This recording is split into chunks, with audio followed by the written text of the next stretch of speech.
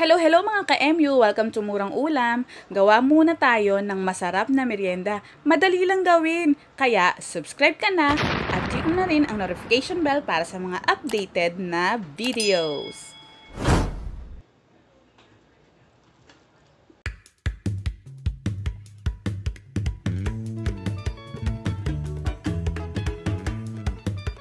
Ang gagawin natin ngayon ay Crispy Choco Banana! Narito ang ating mga gagamitin. Saging, chocolate chips, isang itlog, breadcrumbs, at straw.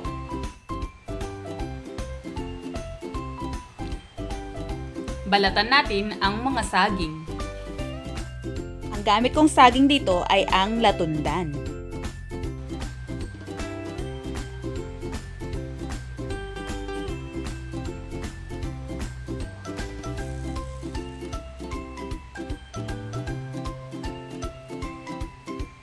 Next, gamit ang straw, bubutasan natin ang dulo at ipapasok hanggang sa kabilang dulo.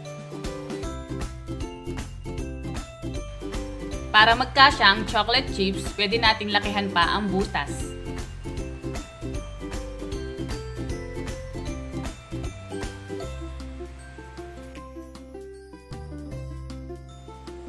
Napupuno din ng saging ang straw kaya tanggalin lang ito.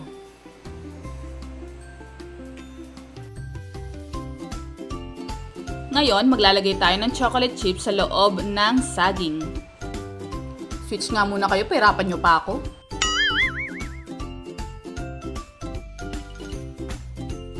O pwede din kayong gumamit ng ganitong klaseng chocolate. Any brand, tapos ikakat lang ng pahaba at ipasok na sa butas ng saging.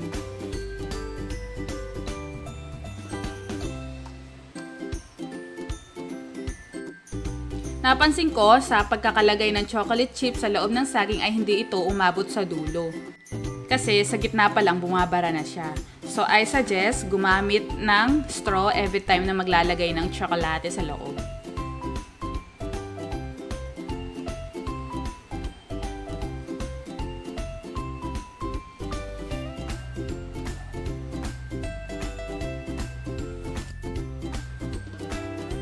Binutasan ko na rin ang kabilang dulo para malamnan ng tsokolate.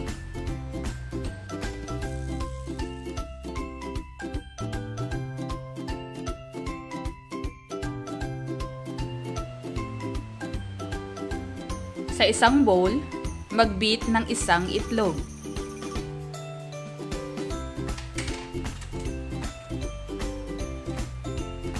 Lagyan ng tubig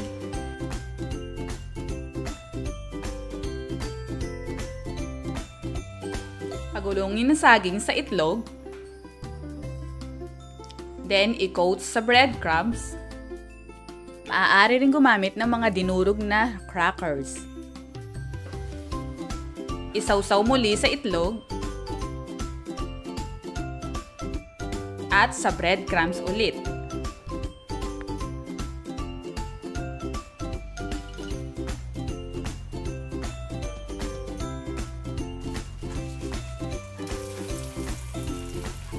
I-deep fry hanggang mag-golden brown.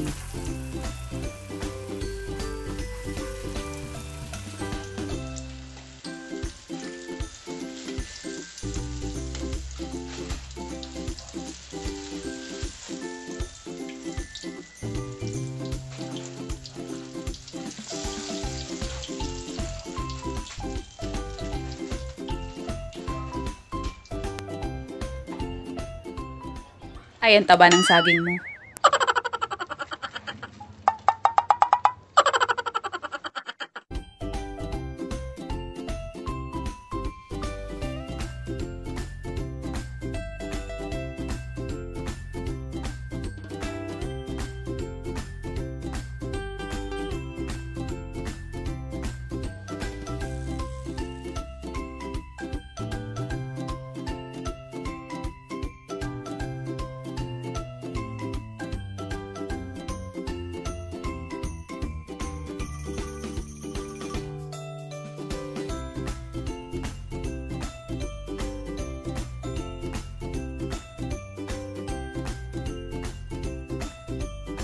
Shoutout to Ma'am Dimsy Makapagal Nava na kung saan ay ginawa na rin niya ang ating PSP, ang Potato Sardines Pancake.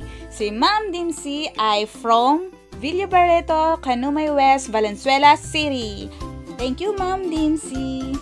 At syempre, shoutout din sa aking nanay Ella. I love you, Nay! For more tipid ulam ideas, please don't forget to share, like, and subscribe sa Murang Ulam. Thank you for watching!